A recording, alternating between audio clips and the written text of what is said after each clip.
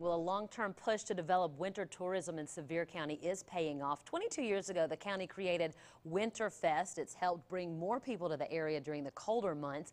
And Local 8 News reporter Kate Burgess is here now with a breakdown of Winterfest's success.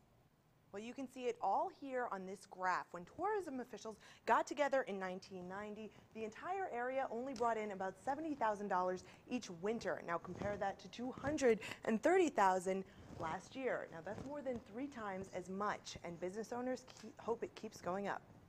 I remember a time when everybody went to Florida, closed up their businesses, and left. Not too long ago, Pigeon Forge in January was a ghost town. It was so slow that you could go on the parkway and shoot a shotgun in any direction not worry about hitting anybody. Finding a place to eat was a challenge, let alone stuff to do. It used to be that there you had a limited number of things you could do during the cold winter months if you weren't a real outdoorsman and didn't want to go hike in the snow. Now hotels like Wilderness at the Smokies offer indoor swimming and water sports, drawing thousands more people to the area every winter. It flattens that tourism cycle. Um, it, it was great. We love that big spike we get in the summer, and we love the big spike we get in, in spring break. Um, but we also like to kind of fill in those dips, and that's what we're doing right now. The Titanic Museum, another big draw. Only open for a year and a half, this giant boat is already an institution on the parkway.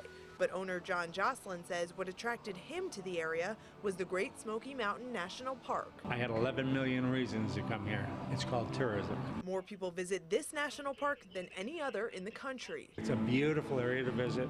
I mean, it's rolling hills and green, and then on top of it, you put a Dollywood, you put an aquarium here, and you got hotels and restaurants. Oh, it's a wonderful place to come just be on vacation. And while you're here, you have to eat. The Old Mill restaurant has been grinding corn since 1830, watching the tourism industry develop. Every year we have more and more people, and it's almost come to a full cycle. Every every month, even in the wintertime, it's busy now. This weekend, the K2 volleyball tournament is in town. That's 10,000 people staying in Sevier County. It's expected to bring just under a million dollars to the area. And in February, you can head to Pigeon Forge for Saddle Up. That's a four-day Wild West festival. Yeah, lots of fun to go over mm-hmm. there, isn't it? Any time of year. Well, Christmas isn't